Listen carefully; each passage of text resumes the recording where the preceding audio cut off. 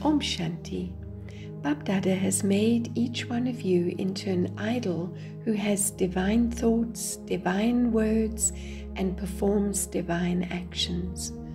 One is to be ordinary, and the other is to be divine. One who is divine will give others divine experiences through their vision, and they change their ordinariness because they feel it is not a life worth living.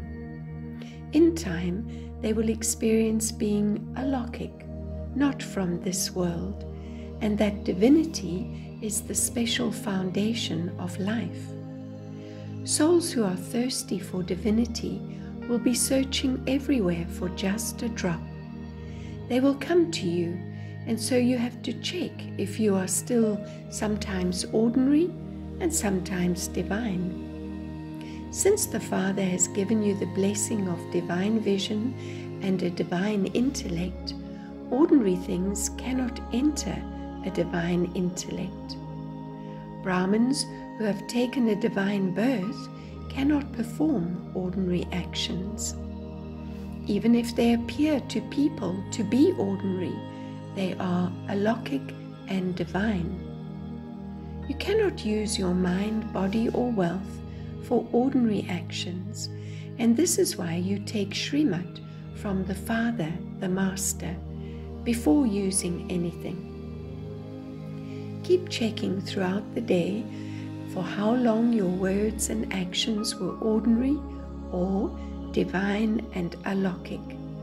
The divine thoughts, words, and actions accumulate for the future.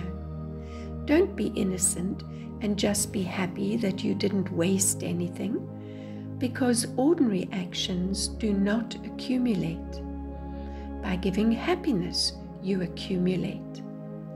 To be divine and alokic is to give happiness to others at every step. Have the awareness to accumulate happiness by giving happiness at every moment in this birth for the future 21 births. So check how much did I accumulate with the body, with my divine thoughts, by using wealth for an elevated task according to Srimad.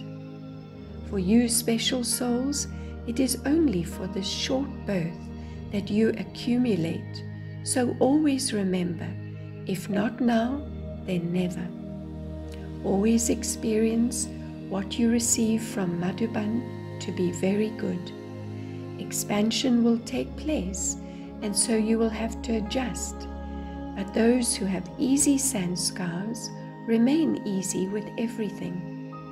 If the sanskars are tight, everything becomes tight. That is, a struggle. You are the ones who remain cheerful with every scene. Do not be attracted by anything good or bad. Just always stay cheerful. Om Shanti.